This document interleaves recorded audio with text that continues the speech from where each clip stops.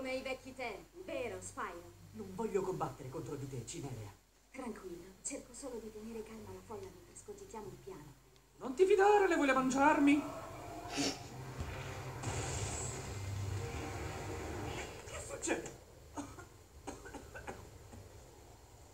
Voglio uscire! Voglio uscire!